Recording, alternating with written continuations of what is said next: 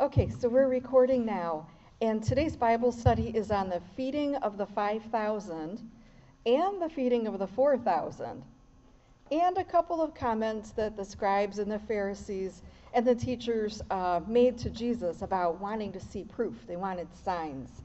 Give us signs. So we're going to start with the feeding of the 5,000.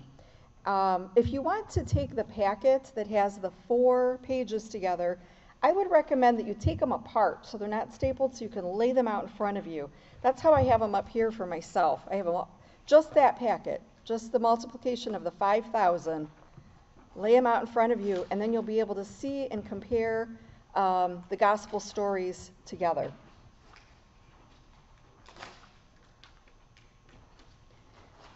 One thing that's important, though, anytime we're studying scripture, really is to look at what's going on around it what happened right before, what's coming up after.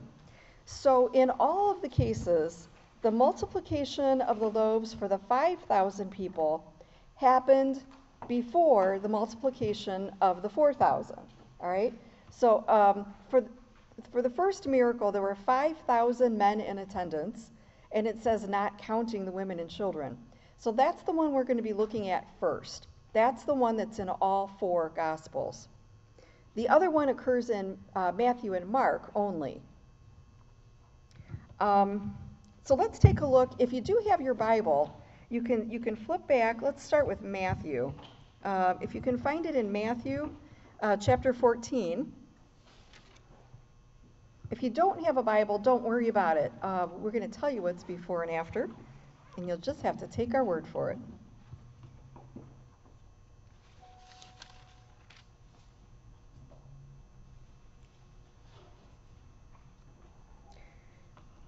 So in Matthew chapter 14, um, right around verse 13, there's a heading that says, The return of the 12 and the feeding of the 5,000.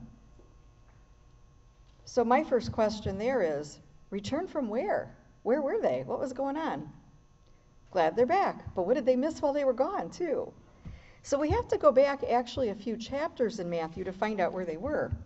Uh, if you spot it before I do, let me know.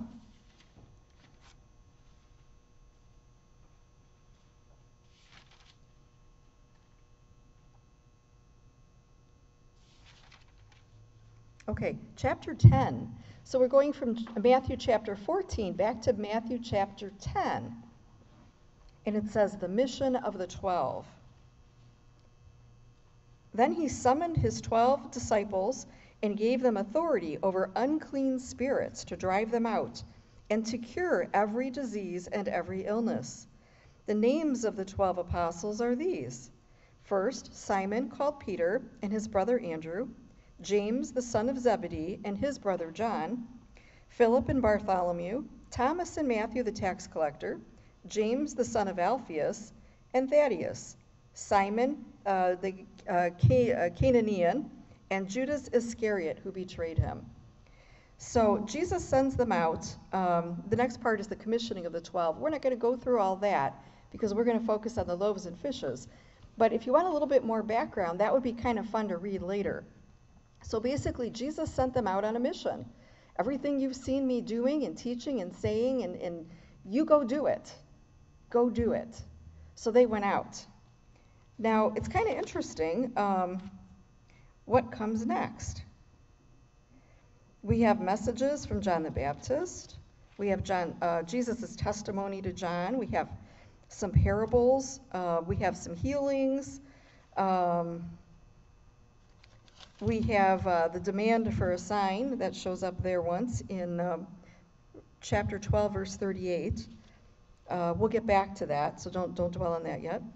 Um, we have Jesus explaining the purpose of parables. Why is he speaking in parables? Um, so, lots of things going on here before we get back to um, the loaves and fishes. So if you would turn, if you have your Bible and you want to follow along in your Bible, the nice thing is you can look at the footnotes at the bottom. Okay, so we're going to start with Matthew chapter 14, verse verses 13 to 21. So now we kind of know who the who the 12, where the 12 have been. They've been out doing ministry. Jesus has sent them out. But now they've just come back. Um, interestingly enough, if you just look at your papers and you look at the titles across there, it's only Matthew and Luke that mention the return of the 12. Okay? Um, but those two are very much aligned with each other. Also, what happened right before the multiplication of loaves and fishes is the death of John the Baptist. And that's pretty consistent as we read all four Gospels. Um, Herod had arrested John and put him in prison because John was telling Herod that for him to marry his brother's wife was wrong, go figure. And Herod didn't like that. However, he really did seem to enjoy chatting with John when John was in prison. He would go and talk with him, and uh, John would tell him things, and Herod would sit listening. So he, he had kind of a fondness for John, even though uh, John said something he didn't like. Okay?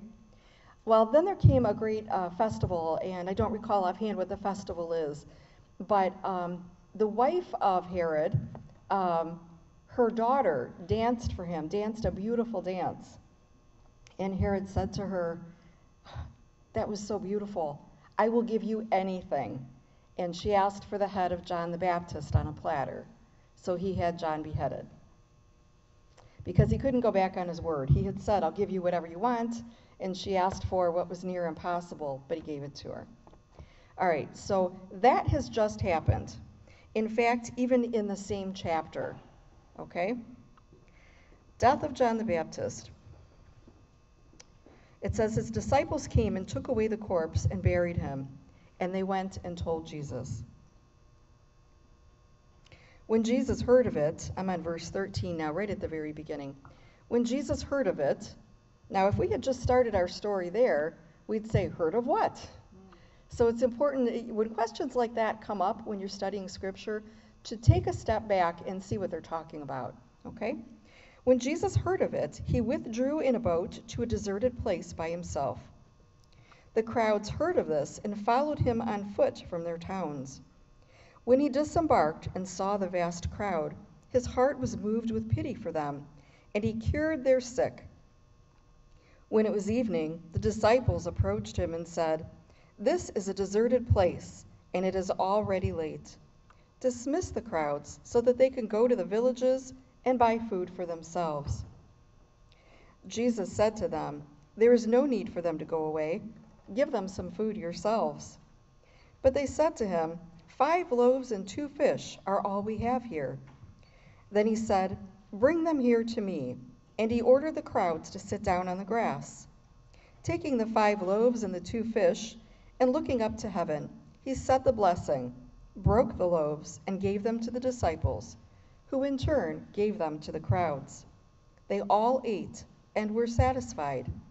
And they picked up the fragments left over, twelve wicker baskets full. Those who ate were about 5,000, uh, were about 5,000 men, not counting women and children.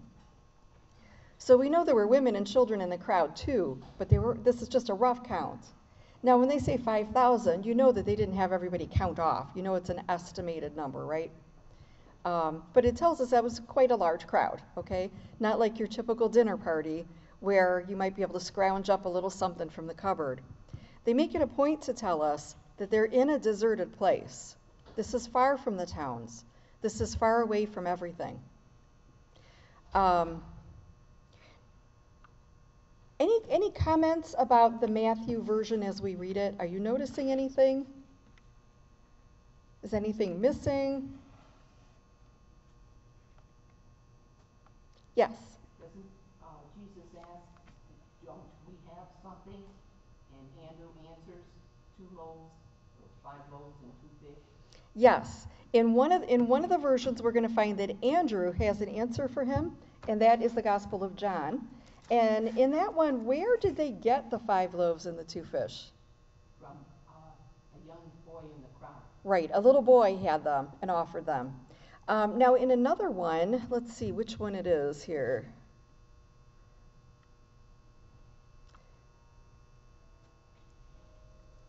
Another disciple is named in one of the others. Yeah, we'll find it. We'll find it as, as we get through here. Okay. Um, okay. There are some notes here that we, that we want to notice. Most of these are going to come with the Gospel of John. But I wanted you to notice there is no little boy in Matthew's version. Okay? Um, it doesn't mean there was no little boy. Okay? It just means Matthew didn't, didn't care to mention where it came from. That didn't matter. What mattered was that this is all they had. That's one thing you'll find in common through all of all four um, all four versions of the loaves and fishes. There are five loaves and two fish. Okay? That is the same throughout all of them. So the number seems to be important. They want you to know, you know, um, you know, when I was younger, I remember some people used to say that the miracle was that Jesus just got people to share what they had. That's not what happened here. Not what happened here, okay? Um, for one thing, we have something that we call uh, multiple attestation. So there are multiple sources saying the same thing, which makes it more believable, okay? Um, so this is one of those situations where we don't see this as an exaggeration. We don't see this as a parable of sorts. We see this as an actual miracle. There were only five loaves and two fish. And somehow, that's beyond scientific or natural explanation, Jesus took those and multiplied them so that more than 5,000 people got enough to eat. In the Gospel of Matthew, it says, they all ate and were satisfied. Now, the interesting thing is that they had so much left over. They picked up the fragments left over, 12 wicker baskets full. Okay, besides the question of where did they get 12 wicker baskets, um, the question is how did they have so much left over? They started with five loaves and two fish. You could put those all in one wicker basket. But they have this much left over. Any thoughts on, the, on that, on the leftovers? Okay. I think the fact that twelve would represent the twelve, uh, apostles. Right. So the 12 wicker baskets likely is representative of the 12 apostles, okay? Um, and we use the term disciple and apostle with these 12. Disciples are those who follow the teacher, they're still learning. The apostles are the ones who are sent out, sent out on mission. And since they just got back from a mission that Jesus sent them out on, I suppose either, either term here is fine. So um, I wonder what they're supposed to do with these wicker baskets. Yes?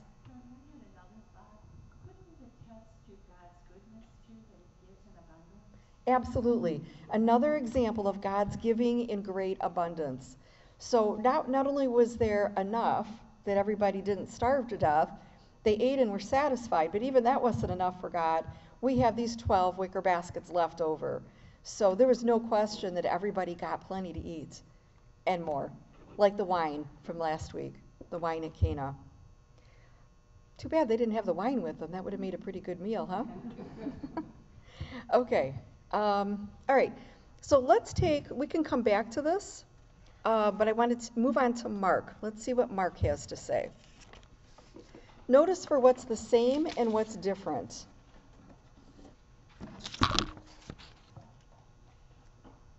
Okay. We're on Mark chapter 6, verses 34 to 44. That's a couple verses longer than Matthew. When he disembarked and saw the vast crowd, his heart was moved with pity for them, for they were like sheep without a shepherd, and he began to teach them many things. By now it was already late, and his disciples approached him and said, This is a deserted place, and it is already very late. Dismiss them so that we can go to the surrounding farms and villages and, and buy themselves something to eat. He said to them in reply, Give them some food yourselves. But they said to him, Are we to buy 200 days' wages worth of food and give it to them to eat? He asked of them, How many loaves do you have? Go and see. And when they found out, they said, Five loaves and two fish. So he gave orders to have them sit down in groups on the green grass. The people took their places in rows by hundreds and by fifties. Then, taking the five loaves and the two fish, and looking up to heaven, he said the blessing, broke the loaves, and gave them to his disciples to set before the people. He also divided the two fish among them all. They all ate and were satisfied. And they picked up twelve wicker baskets full of fragments and what was left of the fish. Those who ate of the loaves were 5,000 men. Okay, aside from my typo there at the beginning, um, what do you notice that is different? There's very much similar. What is different?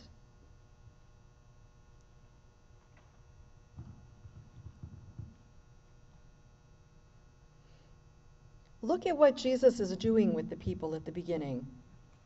In Matthew,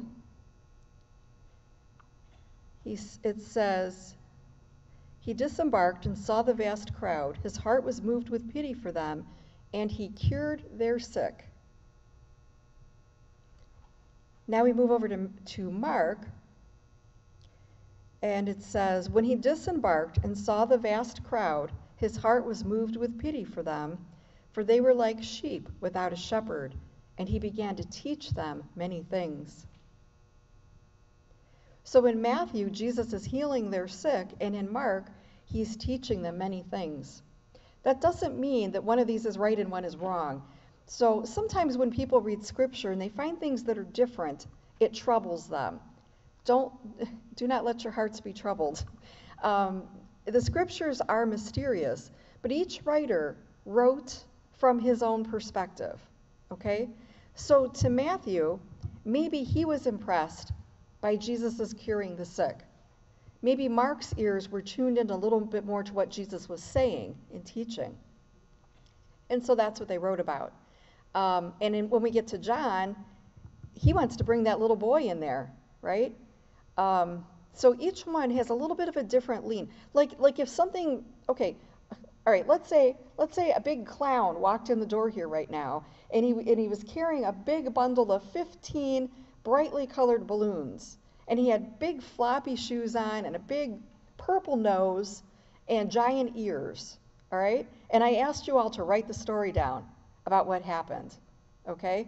Some of you might be focused on that big bundle of balloons. Some of you might think, well, the color of the nose was odd. Usually it's red. Why would it be purple? Some of you might be thinking, those shoes were so loud I couldn't think.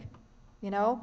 we're each going to have a different something that we focus on. We all tell the story about the big giant clown walking in, but it's going to sound a little bit different from each of our perspectives. Similar with the Gospels, they're telling the story as they recall it, as they see it, um, with the slant towards the audience they're writing to, and from their own perspective. Okay? So keep that in mind when you see differences. It's perfectly normal for there to be some differences like this. Yes. Uh, I just want to share that we had a similar experience at, uh, at work in which we had to see a video, and everybody was to write what happened in this video, just kind of short. And and a gorilla walked on the stage and off, and there were 15 people. Only one person saw the gorilla. Wow. a big, huge um, you know, guy dressed in a gorilla suit walked across the stage. There were 15 of us, only one saw the gorilla. we had to go back and see it again, and even then, some people did not see that gorilla. It was the third time that they saw the gorilla. Wow. Okay. So this, for the for the sake of the recording, the story that's being relayed is that at a workplace, all the employees were required, and I'm probably going to tell it differently because it's a second person here. Um, so all the employees were required to watch a video, and afterwards they wrote what they saw in the video. Um, apparently, during the video, um, a, a gorilla walked across the stage, and only one person wrote that in their story. Um, and it took until the third time before most people were starting to see the gorilla. So that's another example of uh, how we see things differently and we focus in on different things. That's the one really cool thing about having four Gospels. Uh, three of them are very similar to each other, and um, their, their, sources are similar. In fact, they even use each other as sources, which is why um, Matthew, Mark, and Luke sound so much alike sometimes. And John was kind of doing his own thing. So Matthew, Mark, and Luke are writing about Jesus, the human being on earth here, and what he did and what he said. And John wants us to know that he's from heaven. And so that's John's emphasis. Um, so anyway, that, that's for another Bible story, but uh, just to provide some perspective as to why things may be different. And thank you for sharing that. Okay, another thing about the Markan story that I think is really important. First verse, when Jesus says, they were like sheep without a shepherd. Okay? Here we see the good shepherd starting to form. Um, so what does he do? He gave orders to have them sit down in groups on the green grass okay? They took their place in rows by 50s and so on. Um, so the Good Shepherd is making them to lie down in green pastures. He has them recline. I don't know if it uses the word recline in here, but reclining doesn't mean they're taking a nap. Um, they would recline to eat. So um, I uh, just see the Good Shepherd starting to starting to fill in here. Okay. Anything else on the Mark story or comparison between Matthew and Mark? Okay, let's take a look at Luke then. This one also says the return of the twelve.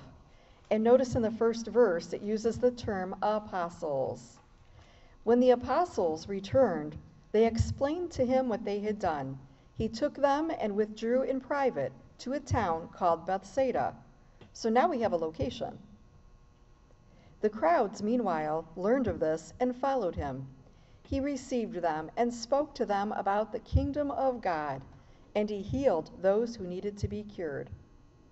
As the day was drawing to a close, the twelve approached him and said, Dismiss the crowd so that they can go to the surrounding villages and farms and find lodging and provisions, for we are in a deserted place here. He said to them, Give them some food yourselves.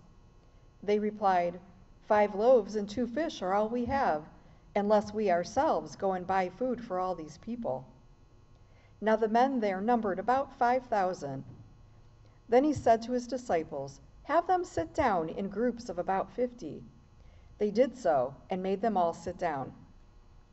Then, taking the five loaves and the two fish, and looking up to heaven, he said the blessing over them, broke them, and gave them to the disciples to set before the crowd. They all ate and were satisfied. And when the leftover fragments were picked up, they filled 12 wicker baskets. Okay, anything different about Luke? Anything new? Yes, Frida. Okay. Well, in Luke, he took what was in Matthew and Mark. He not only healed the sick, but he also taught about the kingdom of God. So he did both of Mhm. And so it sounds like he took it from Matthew and Mark, doesn't it? It does sound like that. Except Matthew was written after Luke. Mark was the first gospel written. Um, Luke probably second, and then Matthew, followed by John. So maybe Matthew abbreviated. Okay. Um, yes. To me, it seems like Luke gives the most details. In fact, isn't he the only one that really has the birth narrative? Is, okay, good points. So Luke is the same gospel where the, where the narrative of Jesus' birth, the nativity, is in the gospel of Luke. And it seems that it may have more detail in, in this, this translation, although it has um, fewer verses. Um, but I noticed like verse 17 is a combination of what Matthew used for, for verses 20 and 21. So he consolidated verses a little bit. Um, Um, there is something very Eucharistic about this too. Listen to the wording. Taking the five loaves and two fish and looking up to heaven, he said the blessing over them, broke them, and gave them to the disciples. Right? sound like mass? Mm-hmm. Right. I mean, you can almost see these people sitting in pews out there on the grass. They're sitting in groups of 50 to 100, okay, in organized groups so that, so that the food could be distributed. All right. All three of those say they all ate and were satisfied. All of them say the leftover fragments filled 12 wicker baskets. All right. Now let's take a look at the Gospel of John. This one is going to be very similar and yet very different.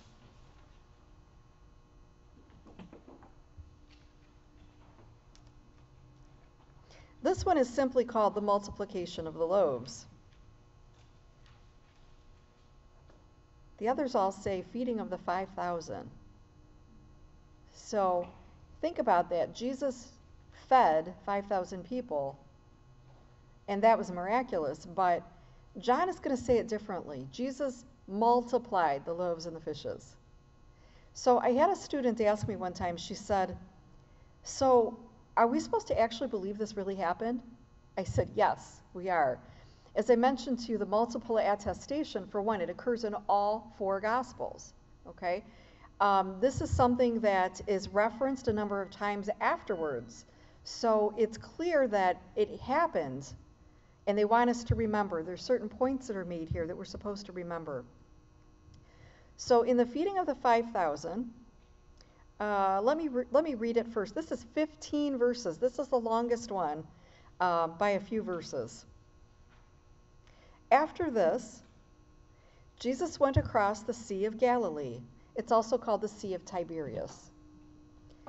A large crowd followed him because they saw the signs he was perform- performing on the sick. Jesus went up on the mountain, and there he sat down with his disciples. The Jewish feast of Passover was near. When Jesus raised his eyes and saw that a large crowd was coming to him, he said to Philip, Where can we buy enough food for them to eat? He said this to test him because he knew himself what he was going to do. Philip answered him, Two hundred days' wages worth of food would not be enough for each of them to have a little bit. One of his disciples, Andrew, the brother of Simon Peter, said to him, There is a boy here who has five barley loaves and two fish, but what good are these for so many? Jesus said, Have the people recline. Now there was a great deal of grass in that place, so the men reclined, about five thousand in number. Then Jesus took the loaves, gave thanks, and distributed them to those who were reclining, and also as much of the fish as they wanted. When they had had their fill, he said to his disciples, Gather the fragments left over, so that nothing will be wasted. So they collected them and filled twelve wicker baskets with fragments from the five barley loaves that had been more than they could eat. When the people saw the sign he had done, they said, This is truly the prophet, the one who is to come into the world. Since Jesus knew that they were going to come and carry him off to make him king, he withdrew to the mountain alone. Okay, so we still have the multiplication of loaves and fishes, 5,000 fed, 12 baskets left over. Um, what's different about this one? They mentioned the mountain. I'm sorry? They mentioned the mountain. Okay, they, they mentioned they mentioned the Sea of Galilee, uh, uh, Sea of Tiberias. They said that he went up a mountain. And then he left them at the end. Yes, Jesus leaves them at the end. That's interesting. The others don't do that. Um, it says they, they were coming. To, they were going to come and carry him off to make him king. Okay, so some people recognized who Jesus was, and some people didn't. And the ones who thought that they recognized him, that he is truly the King of Kings, the Messiah, they didn't quite understand what that was going to look like. Okay, they expected that he was going to come in and wipe out the Romans and free them from the Roman oppression, and uh, he was going to literally be a king in Jerusalem. And that's not what Jesus had in mind. You know, when he died on Calvary, they were like, wait, we thought But what happened? They didn't understand that his mission was much bigger than freeing a group of people from uh, temporary oppression by their enemies. It was to free us from sin and death. And so um, th- these misunderstandings frequently led to uh, Jesus being in trouble with somebody, especially in the Gospel of John. So they saw what he did. They said, Oh, this is him. We got to follow him. We're going to make him king. And he's like, No, no, no, no. You don't understand. That's not, that's not how this works. And so he disappeared. There were a couple of times that um, they wanted to make him king, and he just disappeared. Okay, um, notice they mentioned Passover. This is unusual. This doesn't happen in the other three Gospels. Um, I wonder why they're mentioning Passover. Yes. Could it be because that's why there was such a large crowd? Because Oh, that's that's very good. Perhaps that's why there was such a loud, a large crowd. Uh, maybe they were gathered because of Passover, so they were all in the area and were listening to Jesus. That could be. Um, there's also a very, a very close connection between Passover and what Jesus did here with the loaves and fishes. Um, Moses didn't have fish, but God gave him manna from heaven. And one thing that follows the Gospel of John is the um, bread of life discourse. When he says, Unless you eat the flesh of the Son of Man and drink his blood, you have no life in you. And he says, I am the bread of life. Okay? That comes shortly after this miracle. All right, so we have here um,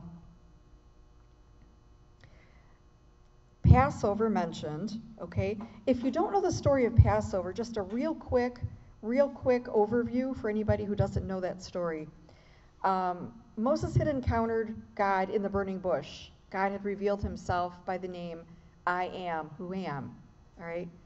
Uh, Moses goes back into Egypt where he's a wanted man, and he, there are 10 plagues. 10 plagues in Egypt, each one uh, overthrowing one of the Egyptian gods. So that's an interesting study, too.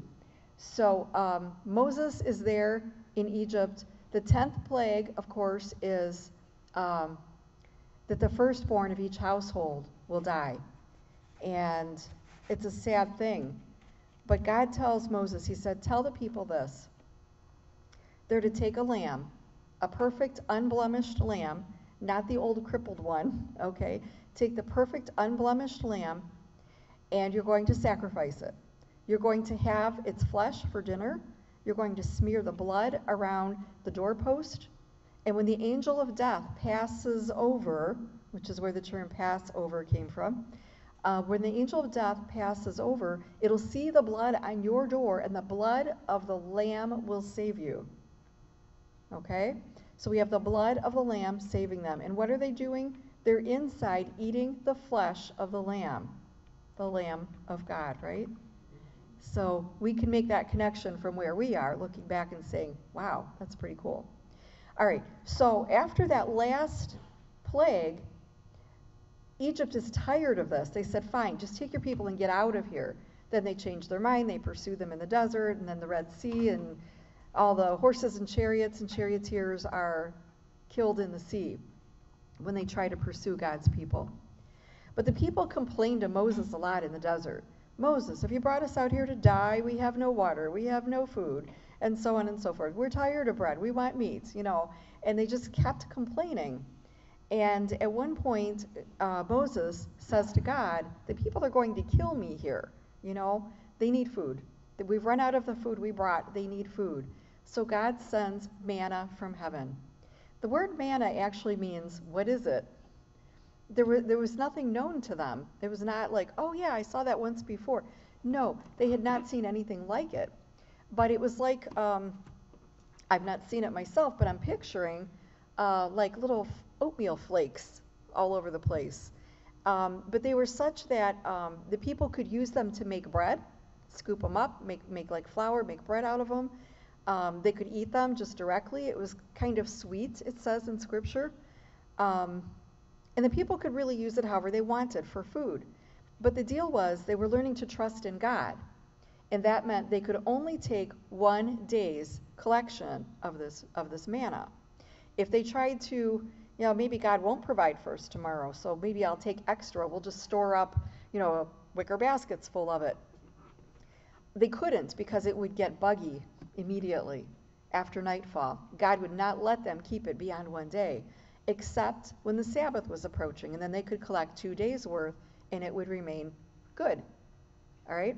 So, as Moses uh, was credited for giving the people manna uh, in the desert, although God is the one who actually provided it, now Jesus is providing bread in the desert. Well, it, we have green green grass here in a number of places, but it's it's uh, similar to Moses providing the manna in the desert, God providing the man in the desert through Moses rather, and Jesus now providing the bread for the people to eat.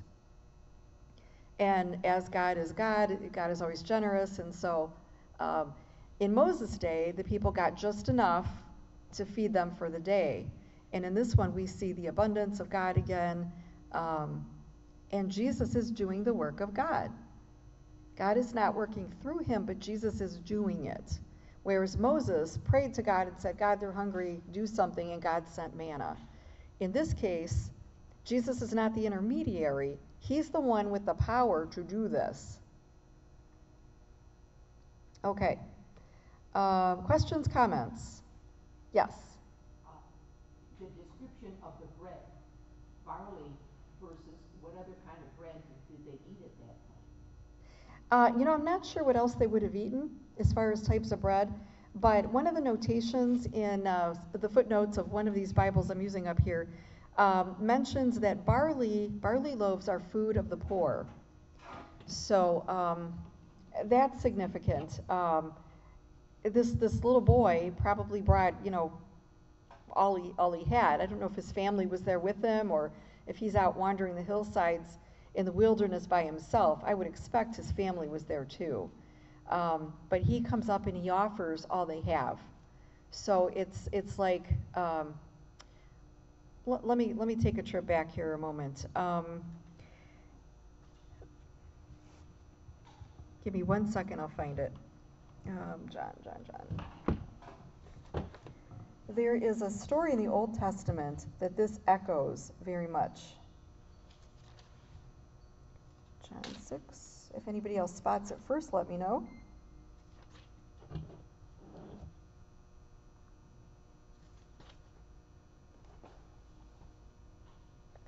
Okay, let's try Ezekiel 16. Let's see where that takes us.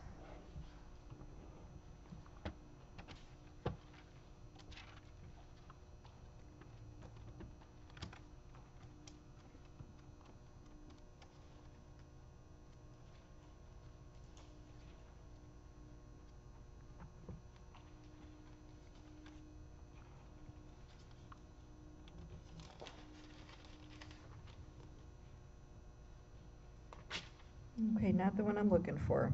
All right. Um, I'll find it. Um, there's a story of a prophet, um, Elijah, the prophet Elijah. And he approached uh, a poor widow who had a son, and he asked her for some water. And she went and she got him some water. And then when she came back, he said, "And could you fix me, fix me a cake? Uh, a cake would be like a, a loaf of bread type thing. Fix, fix me some food." So she said, "Actually, I'm gathering up some firewood.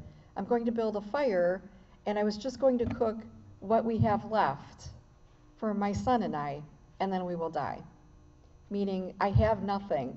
I have nothing to offer the very last food that we have we're going to eat and there is no more because there was a drought so she had no hope of you know going to the market and getting more grain or anything and he says fix it for me anyway god will provide and so she does and she mixes him up barley a barley loaf okay and she gives it to him and elijah promises her that until this drought is over until this famine is over her oil and her flour will not run dry. And they did not. And it continued. So, and there were other miracles in there too, but the barley, the, the barley loaf go, echoes back to that Old Testament story. Okay? Thanks for bringing it up. Sorry I couldn't find it exactly. Um, if you check your footnotes in the Gospel of John, it may mention it in there somewhere. Okay? Um, a couple of them mention the amount that it would cost to feed all these people. Mark and John mentioned 200 days' wages. So a day's wage was a denarii. Um, so 200 days' wages. Imagine that. 200, think about how much money you make in 200 days. So 200 days, that's uh, half a year. That's more than half a year, right? That's a lot of money to feed all those people. Not to mention, how are you going to transport all that food if you could buy it? How's it? There's, there'd have to be trucks pulling up the hillside, right? That's a huge amount of money, uh, money and food. And yet, Jesus does this easily with leftovers. Plenty left over. Okay. So, again, all of these have the 12 wicker baskets. A um, couple other things I'm going to mention in here. Um, one of the verses here in John, it says, uh, let me see, verse 6, it says, He said this to test him because he knew him, he himself knew what he was going to do. One of the things about the Gospel of John and the way it's written, Jesus is always in control of the situation. Even his crucifixion, Jesus is in control. He's pretty much telling Pilate what's going to happen, okay? Um, not so in the other Gospels. You know, they show Jesus as a human being and he's about to die and he's afraid. The Gospel of John doesn't ever show Jesus being afraid, it shows him as in control. So, why is he asking Philip then? Um, it he, to test him because he himself knew what he was going to do. The apostles have not seen this before. Jesus has not done this before.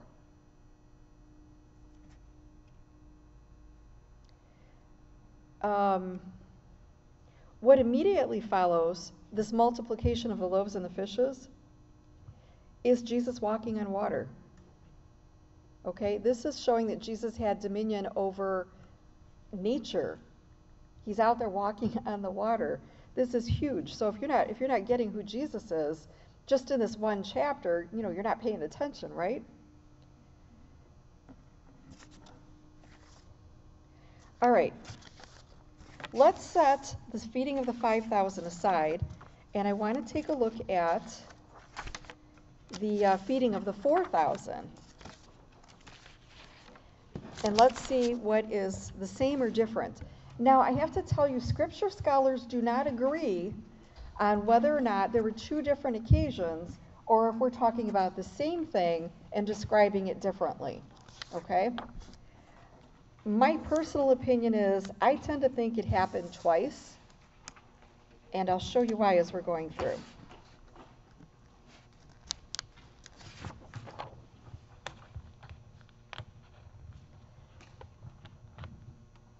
Now, the multiplication, the feeding of the 4,000, is only in Matthew and Mark. So let's look at Mark first, since Mark was the one um, that was likely written first. Mark chapter 8, verses 1 to 10.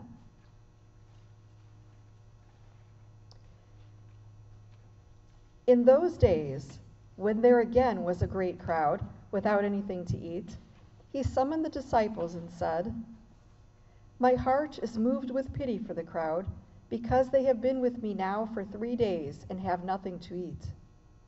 If I send them away hungry to their homes, they will collapse on the way, and some of them have come a great distance. His disciples answered him, Where can anyone get enough bread to satisfy them here in this deserted place? Still, he asked them, How many loaves do you have? Seven, they replied. He ordered the crowd to sit down on the ground. Then, taking the seven loaves, he gave thanks, broke them, and gave them to his disciples to distribute, and they distributed them to the crowd. They also had a few fish. He said the blessing over them and ordered them distributed also. They ate and were satisfied. They picked up the fragments left over, seven baskets. There were about 4,000 people. he dismissed them and got into the boat with his disciples and came to the region of Dalmanutha. Okay, uh, raise your hand if you think this is describing the same, the same incident, and then I'm going to ask you if you think it's a different incident. Raise your hand if you think they're describing the same incident, maybe just differently. Okay, is it a different incident? Okay, pretty unanimously, you guys think it's a different incident, incident. It does say there again was a great crowd. Okay, so that makes you think, huh, okay. Um, the number of people is different.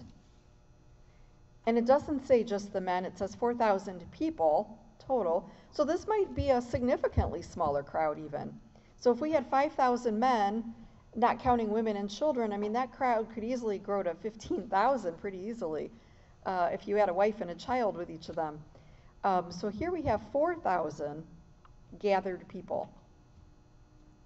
All right. Um, now, what happened? Let's look at what happened right before in Mark. What's going on right before that? Healing of the deaf man. What was it? Healing of the deaf man. Okay, healing of a deaf man. Let's see, Mark 8.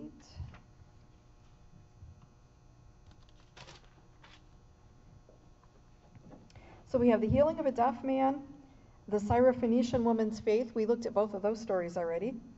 Uh, before that, we have the tradition of the elders.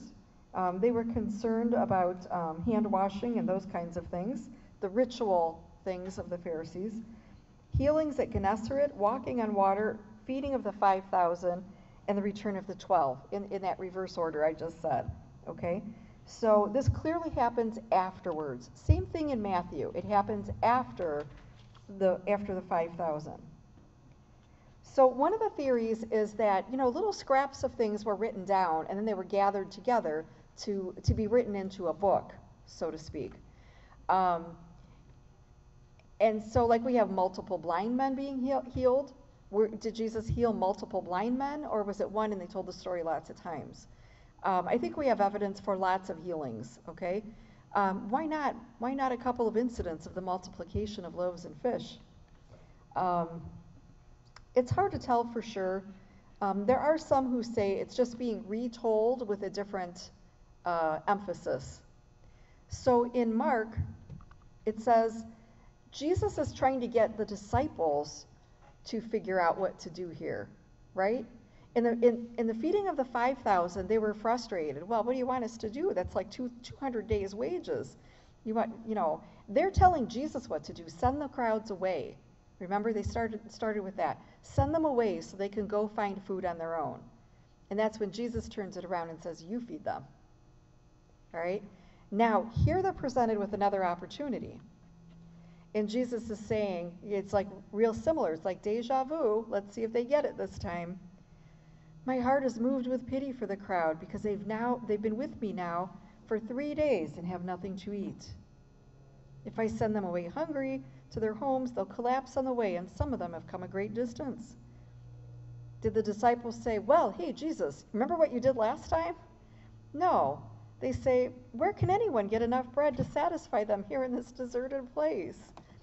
So, one of the reasons that some scripture scholars believe this to be a repeat of the other story is surely they would have they would have known that Jesus could have done something here. Instead, they say, Where can anyone get enough bread to satisfy them? When the, five, when the 5,000 were fed, it says, Everybody ate, and all were satisfied. And now, just what, two chapters later, they're saying, Where would we get, where would we get enough bread?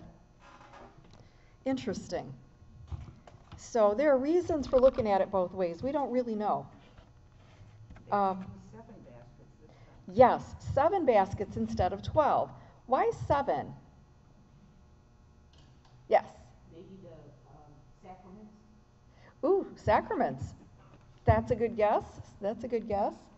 Seven is a number that's, um, it's, it's a number of completeness. Okay? Uh, it's, it's like, um, oh, I'm trying to think how to put this.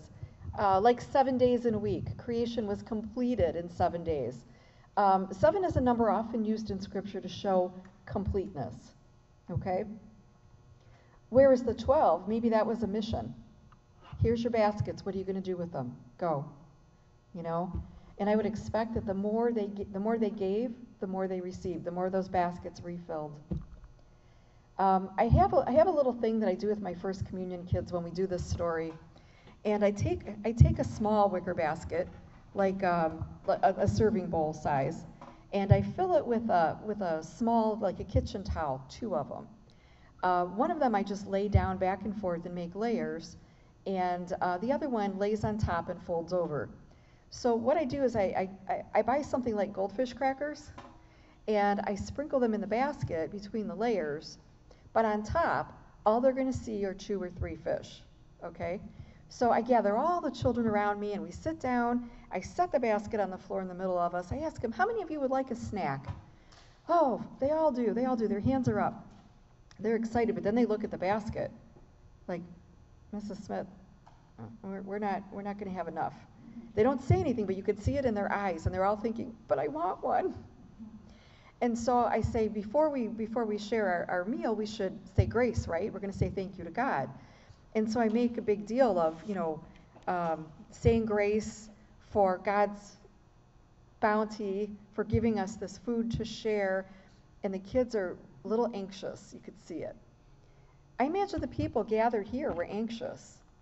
You know, they're starting to hand out the food, but I'm sitting in the back. Wow, I'm probably not going to get any. I hope I hope I do. I'm hungry, you know. So as I walk around to the children, I reach in the basket. I make sure they can see it every now and then so they know there's only a couple of fish left. And I reach underneath the towel where they can't see and I hand them a couple of fish. And then I move to the next one and they're- looking like, "Wow." In the end I tell them sometimes they figured it figure it out by the end, sometimes not. Um, so by the end, everybody's gotten some, and I, I asked, did everybody get fish? Okay, everybody got them, good. And then I take the basket and I pour it into another basket, and they can see how many there are now. And then they're like, oh, I know what you did. And then I explained what I did was a trick, right? We just had some fun with this. This is a trick. But what Jesus did was for real. They only had five loaves and two fish, or in this case, seven loaves. Um, now it's interesting, he fed less people with more bread here, with more loaves. He started with seven, and they only had five in the other one. So maybe this is, um, this is a, a, a reminder to the disciples that I'm giving you everything you need. This is complete. I don't know. Any other thoughts? hmm In this, um, it talks about they were with him for three days, and then they, so did they not eat anything for three days till the third day? Well, that's a good question. It does mention that they didn't eat anything for three days. So some of the people might have brought, brought some snacks with them. They didn't eat anything, it just said they were with him for three days, so. Right. Did they have food before then, and then, you know, I mean, who knows? Did they run out? Yeah, Right. Um, y- gosh, you know, maybe you wonder even if they finished up those 12 baskets that were left over from a couple chapters ago. I don't know. Um, but we don't know if the crowd, I mean, if they knew they were going to be following Jesus, maybe they packed up a picnic lunch and people are bringing these, these lunches with them, uh, thinking, okay, well, we're going to need lunch and dinner and then we'll head home. Then they end up staying for another day and then another day.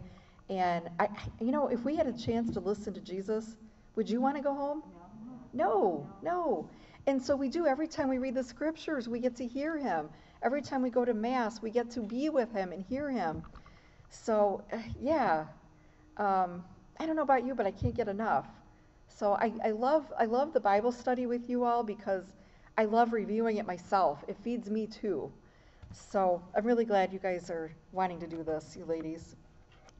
All right, so we don't know what happened to them for those first few days food-wise, if maybe they had some food and they used it up, or, or maybe they were just so absorbed in listening to Jesus, they just really didn't care, you know, just completely focused.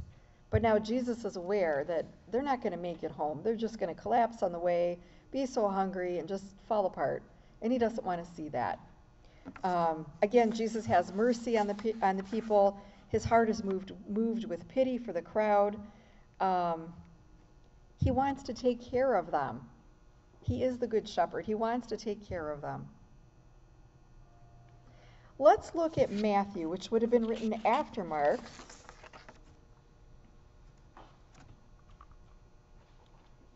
Matthew chapter 15, verse 32. These ones are much shorter than the feeding of the 5,000. Matthew chapter 15, verse 32.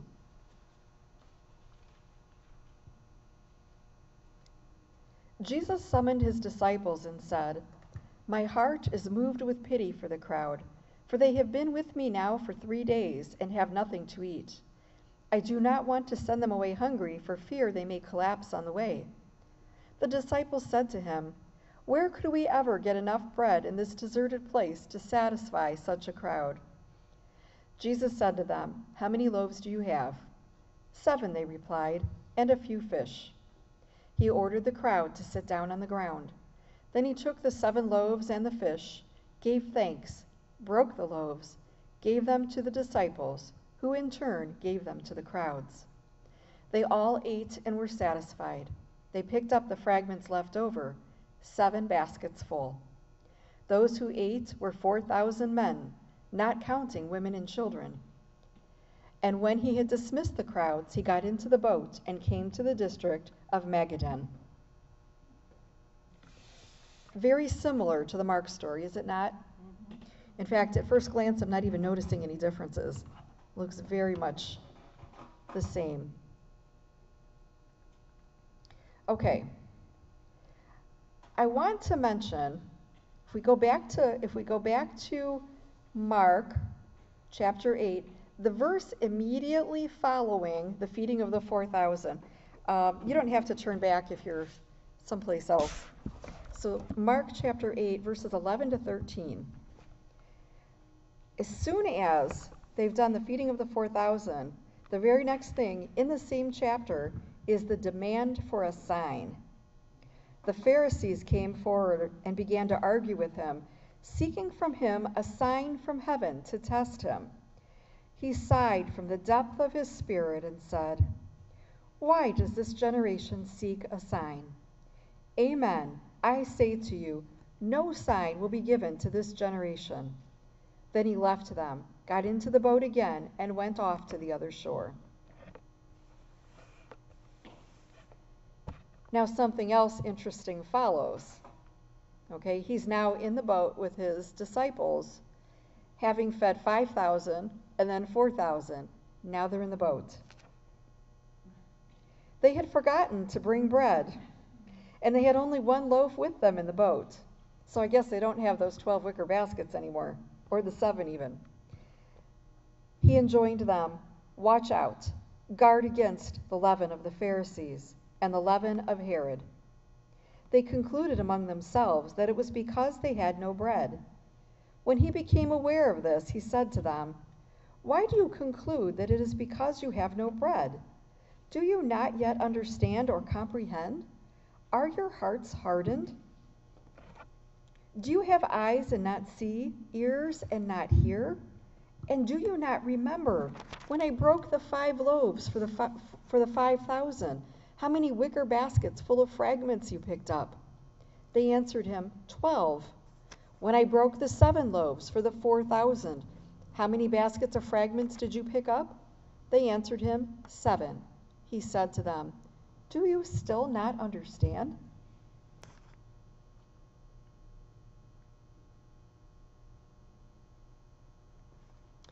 There's one more thing that follows in that same chapter.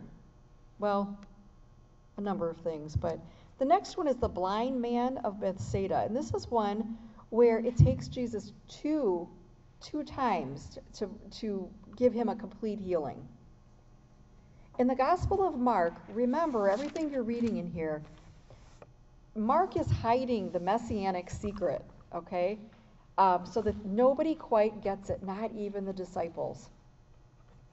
The blind man at Bethsaida was partially healed, but maybe not enough faith for a full healing. He came back and it took a second, a kind of a second dose of healing for him. Um, it says, putting spittle on his eyes, he laid his hands on him and asked, Do you see anything? Looking up, he replied, I see people looking like trees and walking. Then he laid hands on his eyes a second time and he could see clearly. So, the Gospel of Mark is all about Jesus being there and telling them and showing them and them not quite seeing and hearing and believing. Okay? So I found that interesting. Immediately after the 4,000, they're looking for a sign. It's like, hello, did, did you, are you not paying attention? Um, let's go to Mark, uh, Matthew rather, and see what precedes Matthew.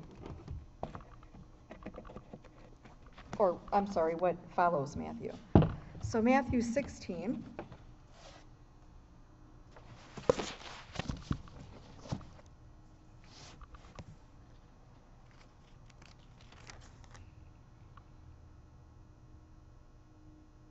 We had the feeding of the 5,000 in chapter 14.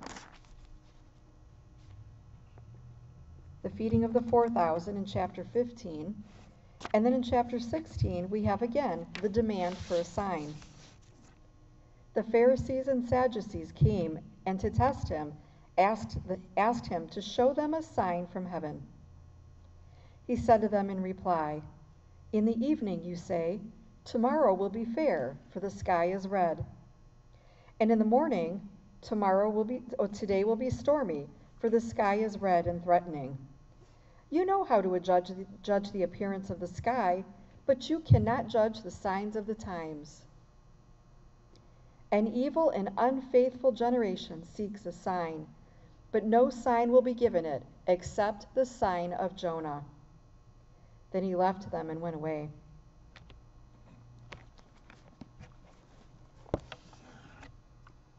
Does anybody know what the sign of Jonah is? Is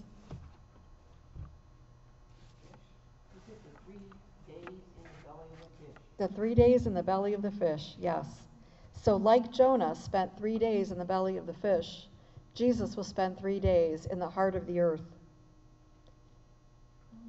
before he's raised. So, when he talks about the sign of Jonah, he mentions it a couple of times. Um,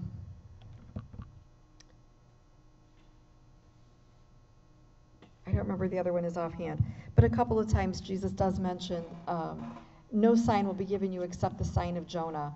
And in one, um, he even says that. It's spelled out. Uh, like Jonah was in the belly of the fish for three days. Okay. Um, but look at what happened with Jonah. Jonah was a reluctant prophet. He's the one, God said, go to Nineveh. What does Jonah do? He gets in a ship heading the other direction. Okay? It's like, uh, no. And why did Jonah not, not want to go to Nineveh? Did he just want to disobey God? No, he hated the Ninevites. He did not want their hearts to be converted. He wanted God to just destroy them all. Send down your, your fire, your anger, just destroy the Ninevites. God said, Go to the Ninevites. Go to Nineveh. Jonah ran away. So the great storm came up, and Jonah was cast into the sea, um, partly at his own request, uh, because the, the sea was getting unmanageable and they were going to lose the ship and all were going to be lost. And everyone is praying and calling out to their gods, and they turned to Jonah and said, What have you done? And he's like, Well, yeah, this is probably my fault. You know, God wanted me to do something. I didn't want to do it, so I ran away, and here I am. And maybe you'd be, be better off just to toss me overboard.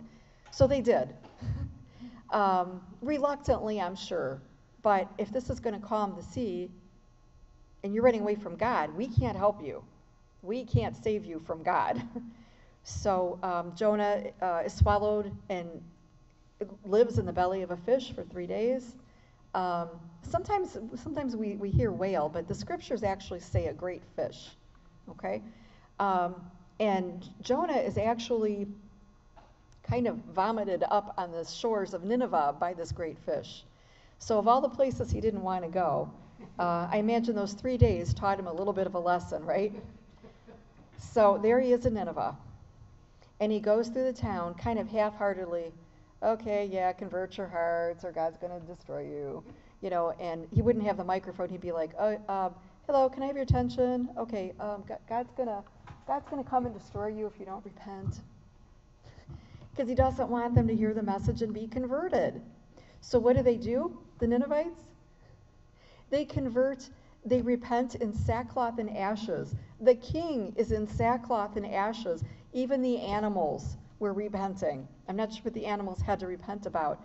But when you read the story, they make it clear that the entire town of Nineveh, everybody, every creature repented and turned back to God. And Jonah's like,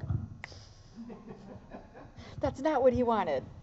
That's what God wanted, because every person counts to God. So Jesus is going to spend three days in the heart of the earth, in his grave.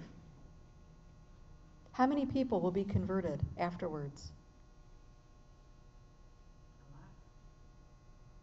Many. Will the Pharisees turn to him after this? Not many. Not many. There were some Pharisees who followed Jesus. Don't misunderstand.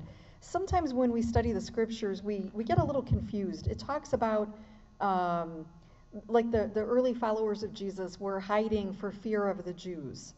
They weren't hiding from all of the Jewish people, they were Jewish people. They were hiding from those who would uh, persecute them and have them thrown in prison or executed for following Jesus. Okay? Um, the whole the whole thing about the Pharisees and the and the Sadducees and the scribes, that conflict is like a whole nother whole nother story. We can look at it a little bit um, a little bit uh, before we end in a couple of weeks. Yes. Who, were the Heronians? They were Jewish too. The Herodians. The Herodians uh, ruled before the Romans, um, but their family was still was still among them. They, were they Jewish? Um, yes. Uh, they were Jewish, but you probably wouldn't find them in the temple. Okay? Um, the Jewish people um, had an idea that if you were truly Jewish, that you would be um, isolated from other people. Okay? Um, like with King Herod, who was um, a descendant of the Herodians. Um, it wasn't that way. You know, he dealt with the Romans. He had business interactions with the Romans, and that would make him not not a good candidate to be able to come into the temple area. It would make him like unclean. It's like the Jewish people and the Samaritans. The Samaritans were they Jewish? Yeah, it depends on who you ask. Um, their their roots were Jewish, and they ended up living in Samaria. Um, but to the Jew, but to the Jews in Jerusalem, they didn't consider them to be Jewish. But the Samaritans did still consider themselves to be Jewish. So it depends on what perspective. Okay? All right. Um, any other questions or comments about what we've looked at today with the 5,000 and the 4,000 and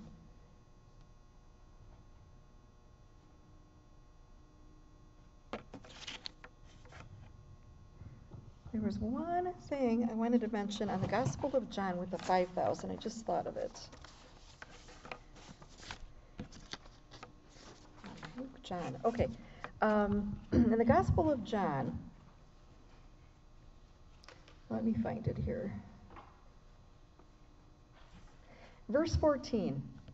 When the people saw the sign he had done, they said, This is truly the prophet, the one who is to come in the world. So um, they were looking for one like Moses, one like Moses. So Jesus had, especially, this is the Gospel of John, but in the Gospel of Matthew, there are a lot of comparisons made between Jesus and Moses, back and forth. Um, but this is a case where they're making an intentional connection with Moses here by calling him the prophet, the one who is to come into the world. They would see it as the one like Moses, like the modern day Moses for us. Um, but they use the word sign too, which I thought was pretty interesting in the Gospel of John. Okay.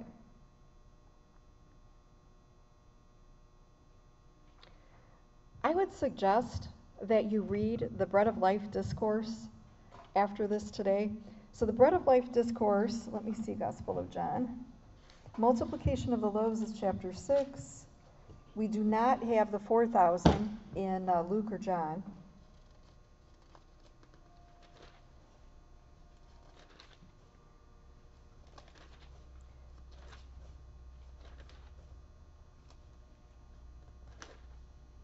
Hmm, I know it's in here. I think I passed it.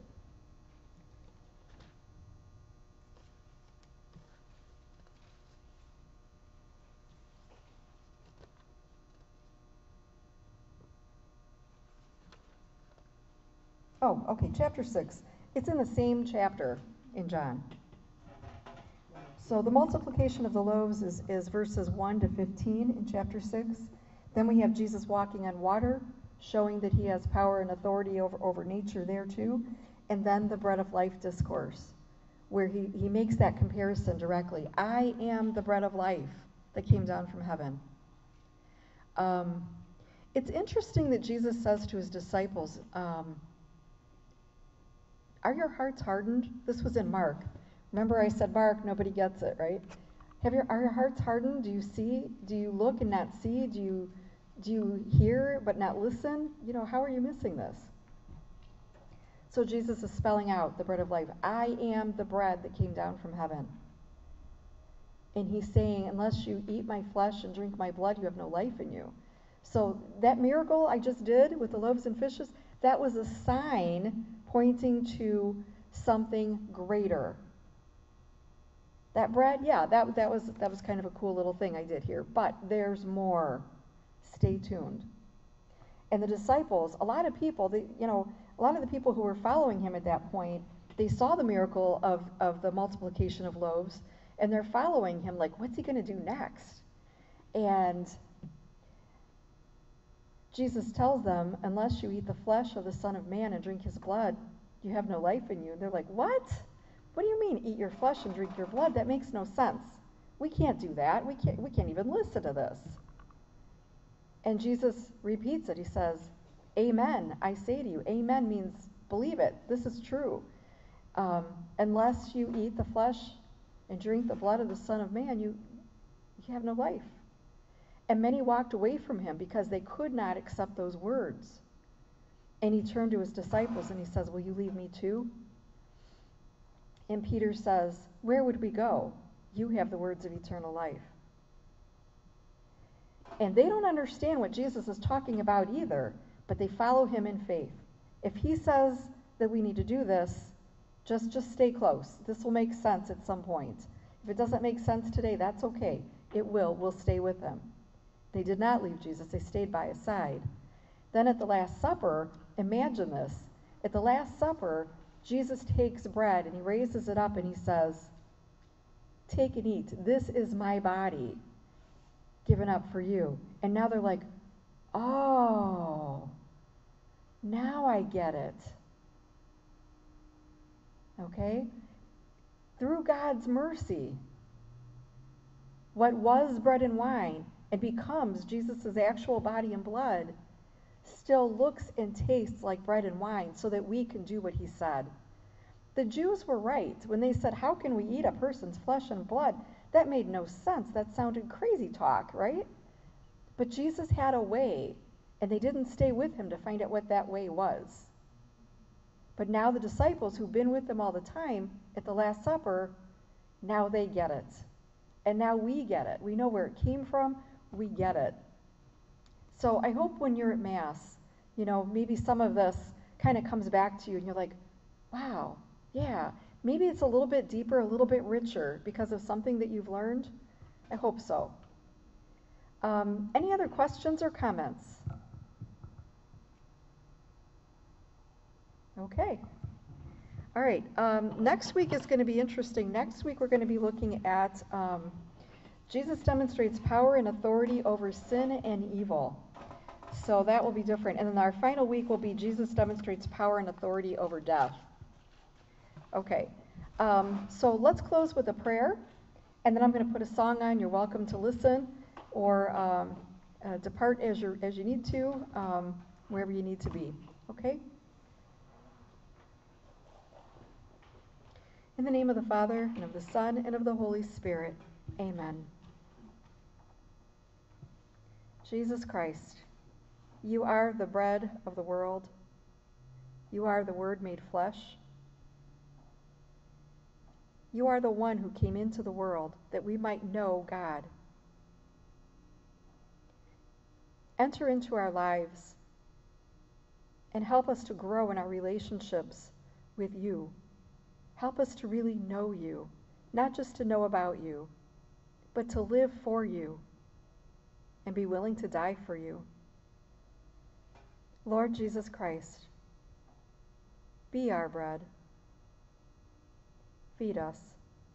And may what we receive in the Holy Eucharist transform us so that we too may become the body of Christ.